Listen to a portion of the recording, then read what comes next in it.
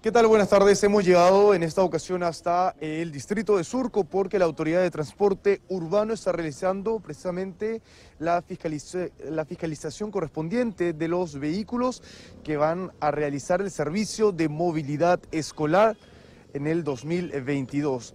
Eh, como vemos en imágenes, el personal de la ATU está verificando el cumplimiento de los protocolos, porque como es de conocimiento, muchas de estas unidades eh, se han dedicado eh, prácticamente a otro rubro, han sido destinados a otro rubro debido a la pandemia. Vamos a conversar con David Hernández, que precisamente es el vocero de la ATU, para que nos explique cuáles son estos requerimientos que deben tener para realizar la movilidad escolar. Estamos en vivo para 24 horas mediodía. Claro que sí, muchas gracias. Gracias por la oportunidad, porque estamos en este momento verificando que los vehículos que van a dar servicio a nuestros más pequeños puedan formar parte de este retorno seguro a clases. Como ustedes ven, la unidad debe cumplir con la correcta sujeción de los asientos hacia la estructura de la unidad, debe tener el piso antideslizante, por supuesto, y todos los asientos deben tener su cinturón de seguridad como lo estamos verificando en este momento.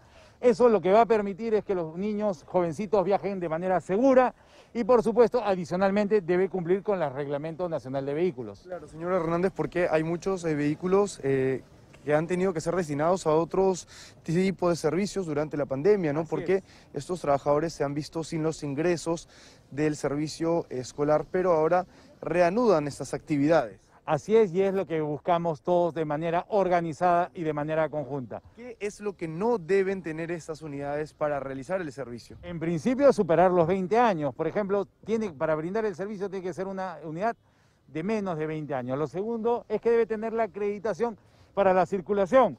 Como ustedes ven, por ejemplo, la placa la placa aquí tiene el color específico del servicio que brinda, esta línea verde. Este, esta línea verde caracteriza que está haciendo servicio, escolar. Así es, el servicio de transporte. El servicio escolar debe estar marcado justamente en la parte frontal de la unidad y en la parte trasera por supuesto, con la acreditación que eh, luego nosotros vamos a brindar. Ahora, por parte de los conductores, me imagino deben también cumplir con los requerimientos sanitarios que ya se ha dispuesto desde el gobierno. Muy cierto, así es, tal cual. En este momento, primero, por supuesto, deben tener la tarjeta de circulación, la tarjeta de circulación y, por supuesto, también el cumplimiento de la norma nacional de bioseguridad los mayores de 40 y 50 años deben tener la dosis de refuerzo, como se ha sido referido, y por supuesto las vacunas completas. ¿Qué opina acerca de esta fiscalización por parte de la ATU?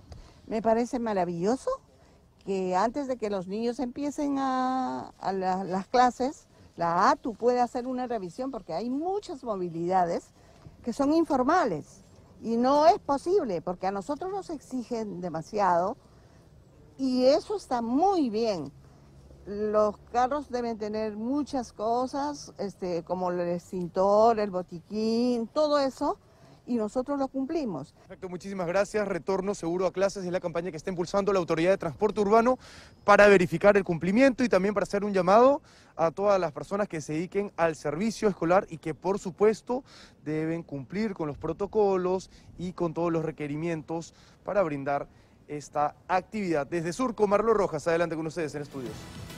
Gracias Marlo por la información.